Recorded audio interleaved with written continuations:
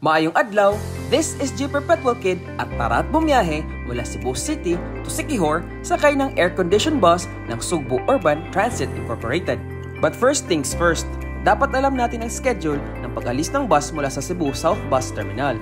Every Monday, Wednesday, Thursday at Friday, umaalis ang bus ng alas 8 ng gabi. While every Sunday, umaalis ito ng alauna ng madaling araw. Now that we know the schedules, Next thing to do is magpa-reserve ng seat a few hours before the trip. Pwede kang pumunta mismo sa Cebu South Bus Terminal o di kaya mag-message sa Facebook page ng Sugbo Urban Transit Incorporated. This is my second time sumakay dito at punuan ng bus, kaya need talagang magpa-reserve ng seat. Be sure to arrive 2 hours before scheduled departure time and buy your ticket worth 329 pesos. So sumakay ako ng Monday kaya umalis ang bus ng lagpas 8pm.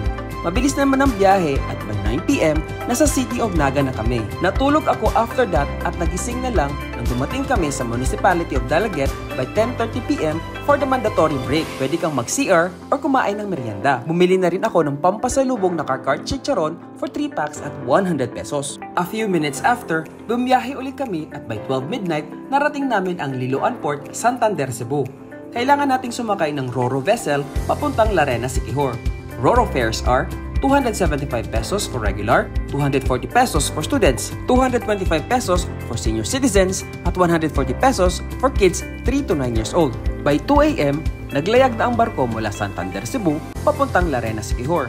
By the way, dito tayo tatambay during the entire 2 and a half to 3 hours trip. Make sure naka-jacket kayo dahil ang lamig once bumiyahe ng barko. Also, walang pwedeng mahigaan dito. Upuan lang. By 5 a.m., narating na natin ang Port of Larena, Siquijor. If you are traveling to the municipalities of Enrique Villanueva, Maria at Lazi, I suggest na sumakay pa rin kayo ng bus dahil ito ang mga unang dadaanan sa ruta.